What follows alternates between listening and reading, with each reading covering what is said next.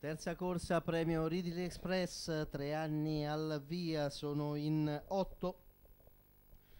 Ertistone Jet, eh, Eloida, Easy Top, Elliot Co, Elliot US, Elisa Ana, El Fuego Vitt in prima fila. Da solo in seconda fila con l'otto, Einstein Grad.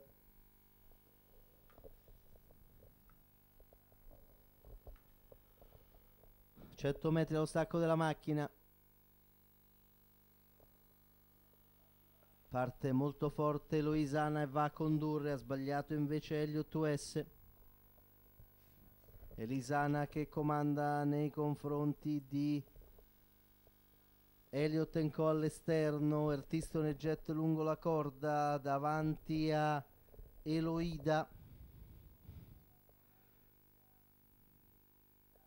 Poi ancora il Fuego Vit e più indietro Easy Top partito con prudenza così come Einstein Grad ha trovato posto in seconda posizione Elliot Co e quindi adesso sono tutti in fila indiana ma muove dalla penultima posizione Easy Top offrendo la schiena a Einstein Grad questo anche sfruttando il rallentamento imposto da Elise Ana Quest'ultima guida nei confronti di Elliott Co, quindi Ertistone Jet, paletto di metà gara nell'ordine del 59,5 per Elisana avvicinata da Easy Top, quindi Elliott Co, Ertistone Jet, Einstein Grad all'esterno, Eloida in coda al Fuego Vit, accelerazione in e chilometro addirittura in 1.13,5 per Elisana con all'esterno Easy Top poi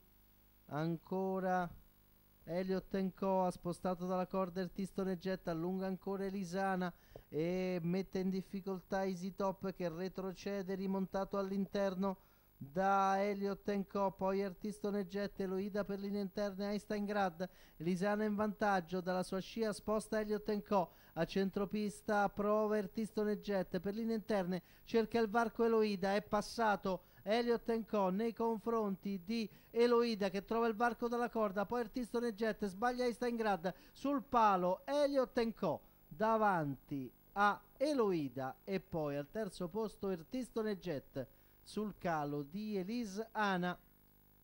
Quarto finale decisamente più lento dopo un penultimo velocissimo 39. La chiusa è 1.58.4 sul mio cronometro, media di 1.14 per la vittoria di Elliott Co.